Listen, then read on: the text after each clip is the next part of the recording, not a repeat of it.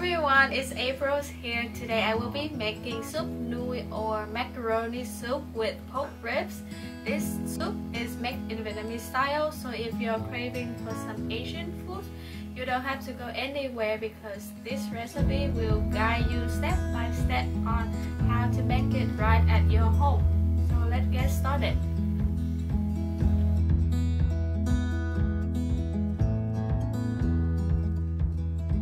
First, you want to place the pork ribs in water and add half a teaspoon of salt. Then turn on the heat on high and bring it to a boil. Boil over high heat for about 5 minutes until all the impurities rise to the top. Then dump out the whole pot and wash the ribs clean. This step is to remove the impurities in the pork and is a very crucial step to keep the broth clear.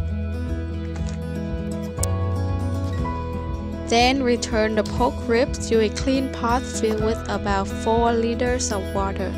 Add a teaspoon of salt and 1 peach onion. The onion add more flavor to the broth and also keep it clear. Bring it to a boil over high heat. Occasionally skim off the scum and then lower the heat and cook for about an hour. Soak the dry Japanese mushroom in hot water for about 10 minutes. Peel and cut carrot into slices. You can cut the carrot pieces into flower-like shape to make your soup look nicer. I also like to add some chopped celery to add more colors and nutrition. Cook the carrot and celery for about 10 minutes until they become soft.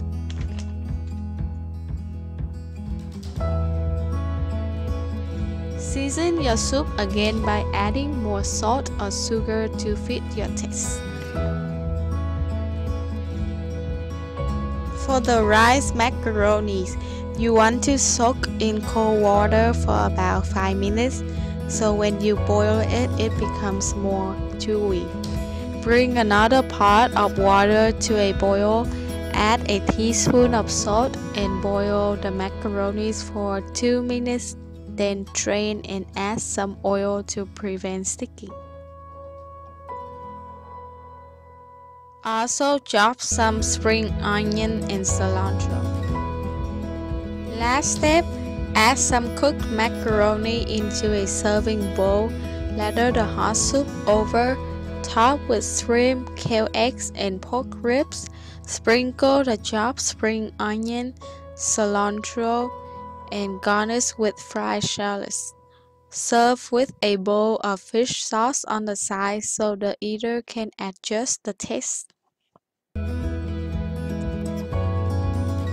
With this simple recipe, you can make a very delicious and nutritious bowl of soup for your family to enjoy.